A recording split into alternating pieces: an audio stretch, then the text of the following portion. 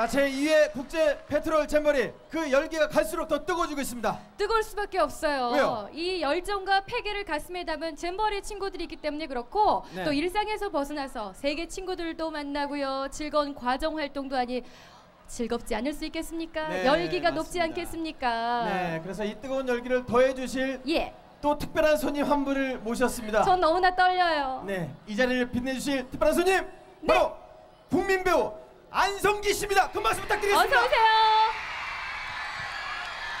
안녕하세요. 안녕하세요. 안녕하십니까. 반갑습니다, 여러분. 가운데로 오세요. 네, 가운데로 예. 아니 저도 그렇지만 여러분도 그러시죠. 늘 극장에서 뵙다가 이렇게 뵈니까 너무나 떨리고 기분이 좋습니다. 와 반갑습니다. 네. 어, 이 잼버리 대에서 만나 뵈니까 예, 더 예. 젊어 보이십니다. 그러십니다. 감사합니다. 네. 예. 특별히 야영장을 찾으신 이유가 있다고 들었습니다. 네. 예. 예, 스카우트 행사에는 어, 그동안 몇 년 전부터 어, 쭉 참여를 해왔습니다. 그리고 예, 예. 제 아, 아, 아 들들이 스카웃입니다. 그래서 아, 네. 예, 대원이고 해서 네. 이번에는 참여를 못했습니다. 근데 음. 쭉 같이 이렇게 참여를 했죠. 음. 그래서 스카웃이 있는 데는 제가 늘 이렇게 가곤 합니다. 아, 아. 네. 어, 멋지십니다. 네, 다시 한번 뜨거운 박수 부탁드리겠습니다. 정말 멋지세요. 자, 오늘부터 우리 잼버리 대원들과 함께 하실 텐데요. 어, 소감과 그 각오랄까요? 한 말씀 부탁드리겠습니다.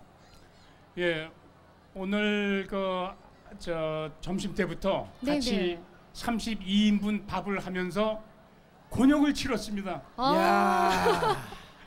그래가지고 거긴 외국 대원도 예, 예. 미국에서 온 대원도 13분이 있었는데 야, 그 이게 맛있지 않으면 어떡할까? 밥이 음, 서르면 어떡할까? 막 이랬는데 밥이 한 반 탔습니다. 그분들 드시고 반응이 어떻든가요?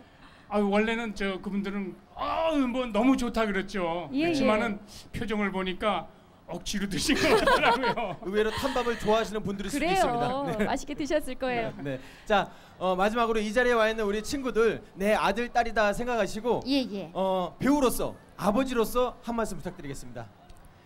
예, 이- 여러분들 너무나 예, 좀 날씨도 굉장히 뜨겁고 하지만은 또 저녁 때는 이렇게 선선하고 좋지 않습니까? 낮에는 좀 힘이 들겠지만은 전부 힘내고 또 어, 이때 아니면 얼마나 이렇게 땀을 또 흘려보겠어요.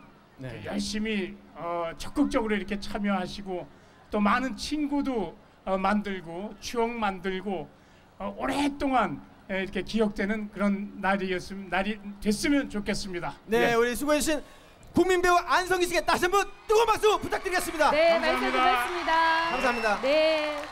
네. 야.